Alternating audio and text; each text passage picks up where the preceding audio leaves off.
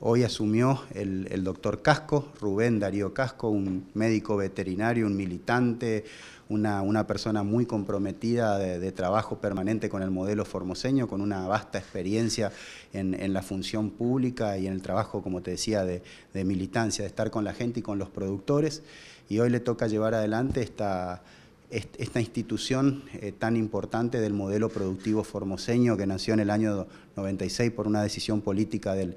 gobernador en un momento muy difícil de, la Argentina y de nuestra provincia y que a partir de ese momento, en ese momento como un instituto, hoy como un programa y hoy como un instituto, eh, bueno, se atendió en forma integral a nuestros, a nuestros pequeños productores, a nuestros productores paiperos un gran desafío el que viene por delante para el, compañero. Eh, el compromiso que, asumimos también en esta gestión de poder eh, trabajar en forma conjunta eh, como Ministerio de la Producción y como el Instituto Paipa con el solo objetivo de que nuestro productor, nuestro pequeño productor se,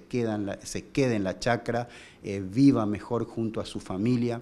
que se fortalezca la producción, una producción diversificada en, su chacra, desde la producción primaria y la agregación de valor también tan importante. Eh, yo quiero resaltar eh, y poner en valor el trabajo que realizó el, señor Carlos Sotelo durante 11 años a cargo de esta, de esta institución. Eh, una persona con una trayectoria intachable en cada función que cumplió, un militante, un luchador de la causa peronista de nuestra, en, nuestra, en nuestra provincia y él dejó su impronta, es una persona que dejó su impronta y que hoy es asesor del Poder Ejecutivo con el cual vamos a seguir trabajando